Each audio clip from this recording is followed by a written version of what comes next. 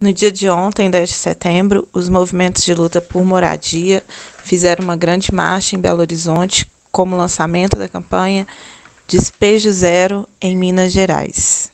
Aqui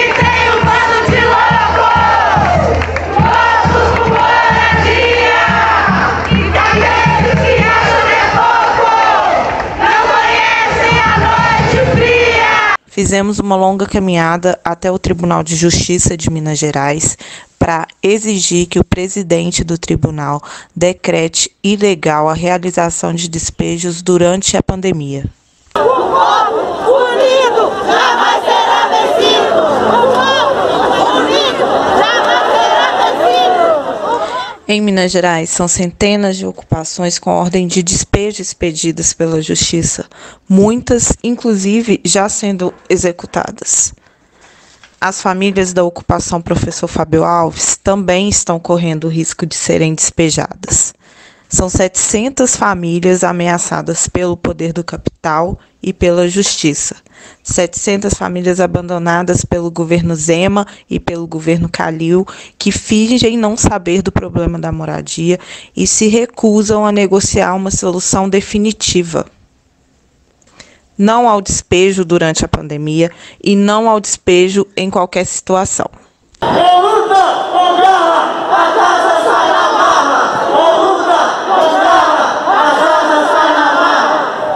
Dois protestos mobilizaram manifestantes hoje em Belo Horizonte. Na Praça da Estação, no centro da cidade, moradores de cinco ocupações populares também fizeram um protesto. Com bandeiras e faixas, pediram para o governo de Minas e para a prefeitura uma solução para a falta de moradia.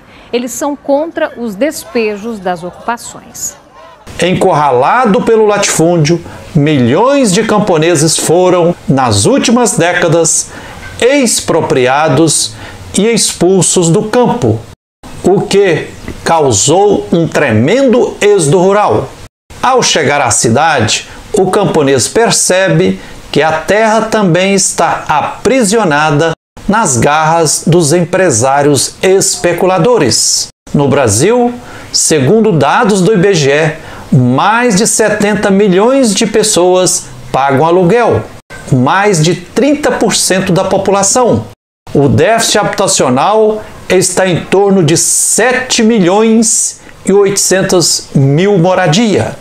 No campo, resistem mais de 4 milhões de famílias sem terra. Nas periferias das grandes cidades, 25% da população brasileira sobrevive em favelas que são, na verdade, novas senzalas, lugares de resistência.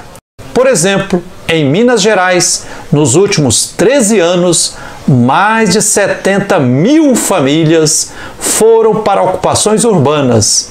Outras milhares de famílias continuam no campo, dando função social à terra em ocupações de sem terra ou em retomadas de áreas tradicionalmente ocupadas por povos indígenas, quilombolas e muitos outros povos e comunidades tradicionais.